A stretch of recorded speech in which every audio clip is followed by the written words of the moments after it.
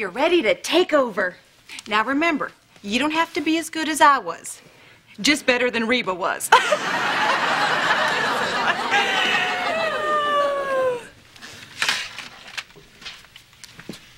Looking for anything in particular? nope. Just, you know, when employees steal office supplies, we all pay.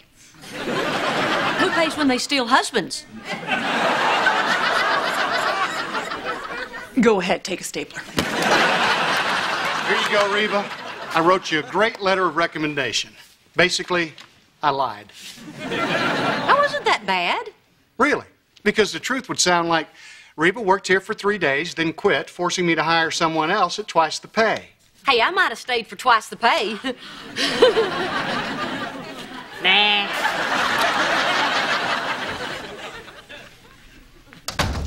Hi, Brock. Cheated golf lately? Hello, Eugene. Gee, I guess a stack of malpractice suits will make a guy hostile. Hi, Dr. Fisher. Did you come over to borrow a cup of Novocaine?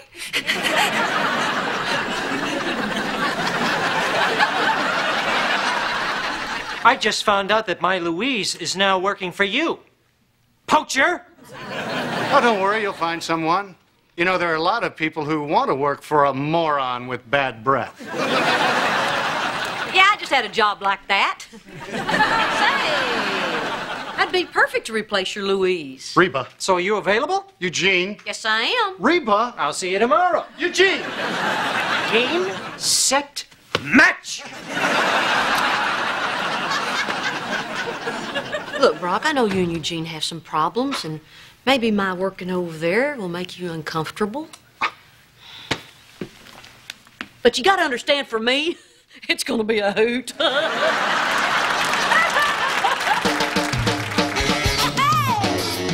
I am is who I wanna be. I'm a survivor.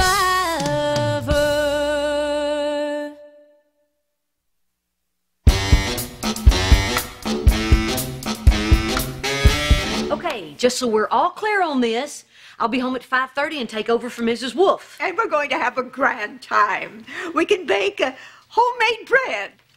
Cool. And maybe later, Kyra, we can braid your hair. Braids. I'll be the envy of every girl in the village.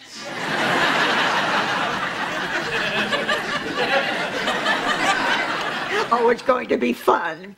I've got a box of sugar cubes in the car. We can make an igloo. The car? I wouldn't let her operate the dishwasher. Seriously, Mom, anybody would be better than her. Van would be better than her. Can't you quit your stupid groundskeeping job and stay home with us? Well, not on my second day, especially since I called in sick yesterday. Wouldn't be fair to my crew. My man is on a crew. oh, this is so cool. He's working at the university. He has benefits. Plus, you look so hot in that uniform. Well, hey, it's not just about making the grass look good, know what I mean? Okay, kids, I know this isn't a dream come true for any of us, but I got a job now, and your job is to pull together and help me through it, okay? Right, team? Ha ha! That's the spirit! See you later. Oh, and don't hurt the old lady.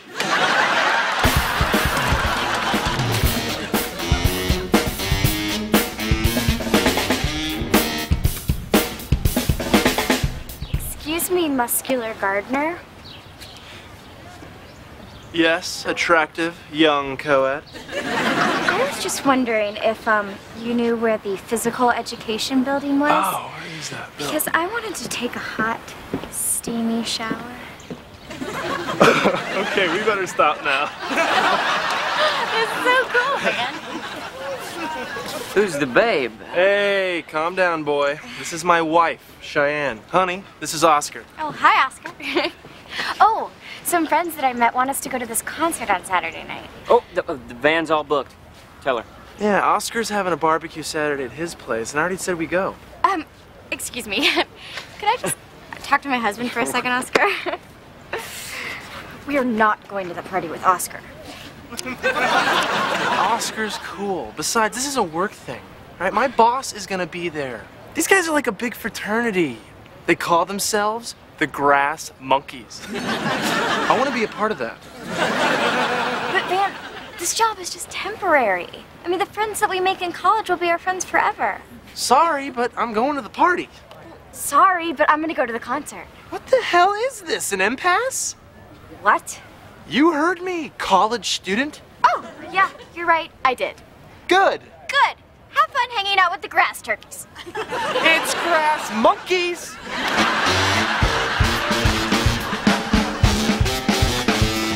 Hey, Kyra. Man, am I beat. Mrs. Wolf, I'm back. Mrs. Wolf? You'll have to yell louder than that. She went home. What did you do to her? I anything. She didn't feel well. I think she's got a bad case of old. You mean you kids have been here all afternoon alone? I wish. Hello there, working girl. Hello there. Why are you here, girl? Hang on now. Mrs. Wolf had a little tummy trouble and she accidentally hit our number on the speed dial, somewhere between up and Chuck. So you've been here all day? Touching my stuff? you know, I don't know if I'm really comfortable with you being here when I'm not. Where's the tea? Oh.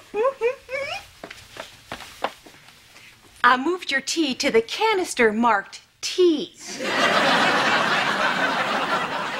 it's right here near the stove next to the teapot, which I moved from that cupboard over here. And I consolidated your mugs into the same area. It creates what I like to call a tea triangle.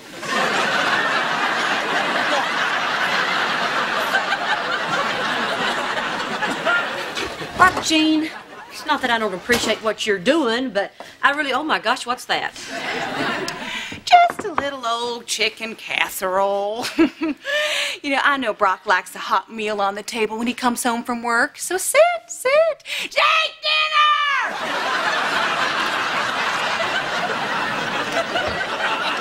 Well, I guess since it's already cooked and everything. You know, you know what? Just let me get this served and I'll get out of your hair. Thank you, Barbara Jean. Did you see the T triangle?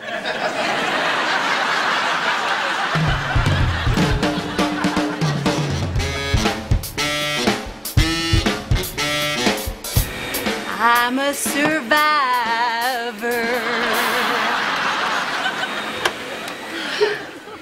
There's my working girl. You know, that's really grown on me. I gotta tell you, the first time I heard it, I wanted to stick my head in the oven. There's no room, because I'm making pot roast. Woo! I thought I smelled a reason to keep you. Kids okay? They're upstairs doing homework, happy as clams. Oh, how can you tell if a clam is happy anyway? I don't know, but clam chowder tomorrow night might make me happy. Hint taken. Here's your paper. Oh, and Mrs. Wolf called. Oh, she's not doing better, is she? No, no. She's gonna be out for a while longer. Oh. so, how was work? Eugene was in a mood. Oh. This little girl he was working on bit him. ah, but I took care of it. I referred her over to Brock. Oh,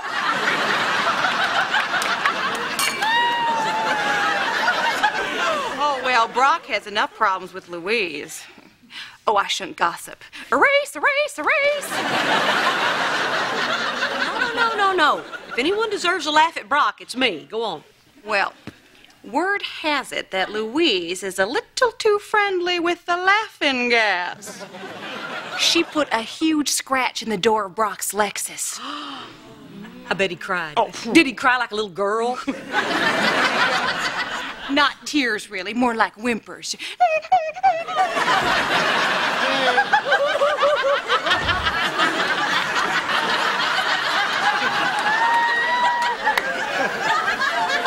Wait, what are you guys laughing about? Nothing. Just little girl talk. Oh. Hey, Barbara Jean. Are you ever coming home? Well, sure, just as soon as I get dinner on the table. Oh, perfect. I'm starving. Oh, there's not enough for you.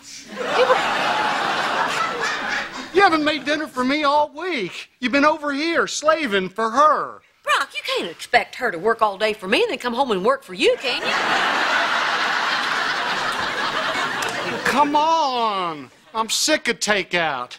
The guy at the Chinese place thinks I'm getting divorced again. All right, relax. We'll grab some chicken at Wimpy's drive-thru. Now, Reba, after the pot roast, there's apple pie. and you just leave the dishes. I'll get them tomorrow. I'm starting to see why you left me for her. Sure, you're happy. You're the one with the new wife. It's always great at the beginning, Reba. I'll be out in the car thinking about apple pie. I gotta tell you, this has been great for me and the kids. I can't believe how well it all turned out. Say, would you top me off there? I'm so relieved. I was, I was worried I might be stepping on your toes. Hey, you can step on anything you want to as long as you're stepping towards the oven. I can't believe I'm saying this, but I'm glad you're here. Thanks, Reba. Well, I better get going. Mm-hmm. Bye, Kyra. Bye, Jakey. Bye, Mommy.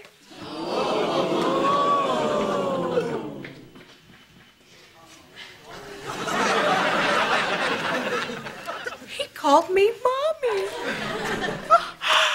Oh, pinch me, Reba. I think I'm dreaming. Ow.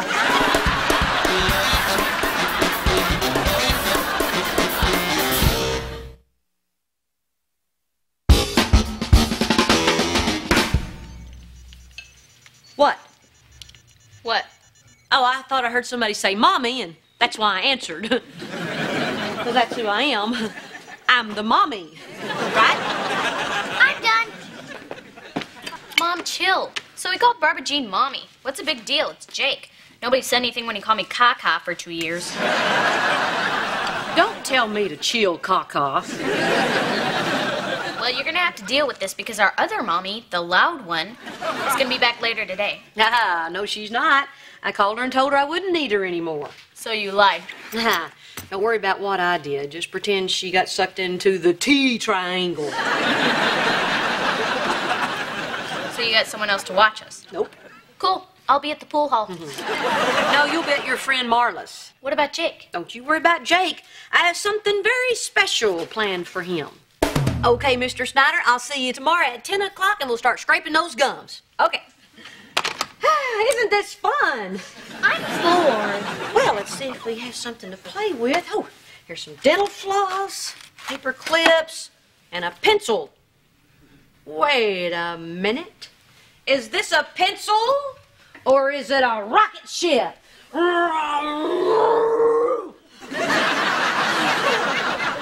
Hello, Doctor.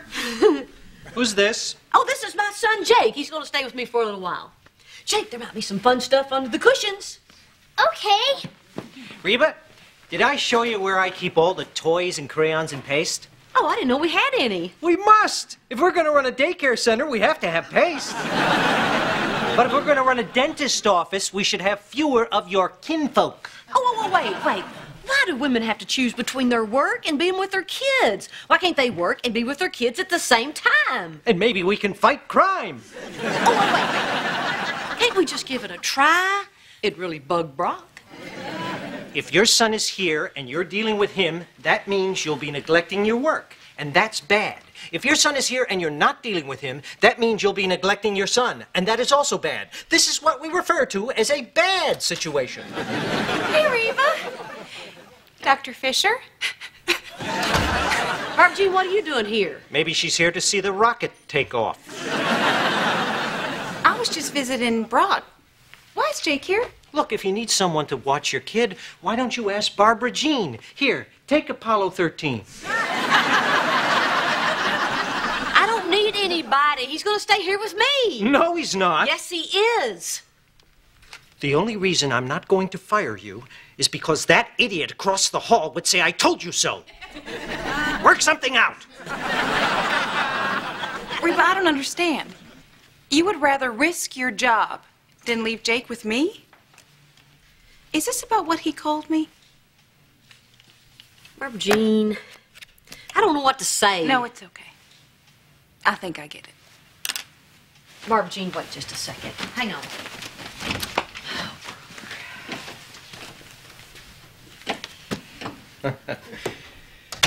He is a cute kid. Do I have to call the police?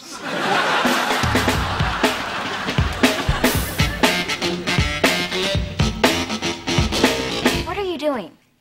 Well, if I don't have dirt underneath my fingernails, the guys at the party would make fun of me. Real sorry I'm missing that party. Cut it out! Hey, kids! Hey, what's the problem here? I have an important corporate event to go to tonight, and she won't go. Yeah? Well, I have a concert with people who don't smell. Look, you guys aren't in high school anymore. You don't have to spend every second together. Come on now. You have your whole marriage to fight. He does have a point. Yeah. I mean, why should we be joined at the hip? Absolutely. Time apart is good for a relationship. You know, Reba and I used to do different things all the time. Well, I'd go play golf, and she would. Well, I don't know what she'd do. I was playing golf. Um, so you guys would spend a lot of time apart? You know, I really don't want to go to that party. You know, I don't even like the band that much. I am great at my job. I don't need to kiss gardener butt. You know what? Van, I think that we should go get Elizabeth and, and go on a walk. yeah. We'll, we'll go get ice cream. Together. Okay. What the hell did Reba do? Brock, is it just me, or were you here less when we were married? We need to talk about this Barbara Jean thing. Why is it so hard to understand that I would be upset that Jake would call her mommy? It's not. I totally get it. I mean, I am his mommy, right? Absolutely. I changed his diaper, I nursed him when he was sick, I was the one that taught him his alphabet, and believe me, he's no quick study. Hey, Reba, I understand. Would you quit agreeing with me? I want to argue. Look, Barbara Jean didn't want to upset anyone. Mean, she was just trying to help out because she likes you. Oh, I know. Man, for one golden week, I had it all. Clean house, happy kids, great food I didn't have to cook, on plates I didn't have to wash. It is nice, isn't it? Say, did she ever make you those little red potatoes with the butter and parsley? Oh, man, I love those. What about the pork chops with the pear glaze? No. Oh, Oh, man, I bet that was going to be next week.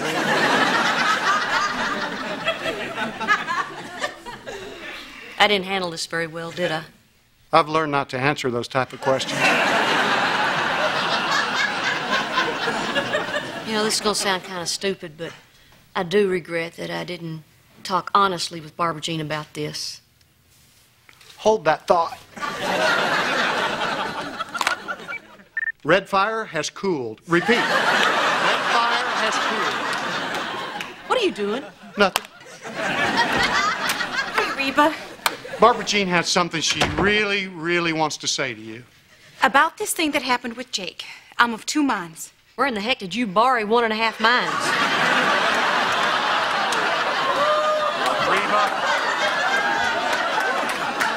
Just hear her out. On the one hand, I feel awful because I know you're so upset. But on the other hand, I'm thrilled. I mean, because I think you're such a wonderful mother. See, when Jake called me mommy, it meant for one brief moment he put me in the same category as you. My turn? Use your words.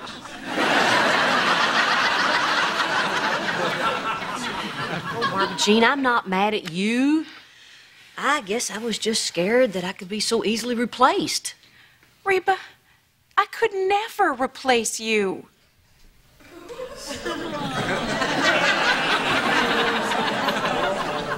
I mean, with the kids. Thank you, Barbara Jean. Oh.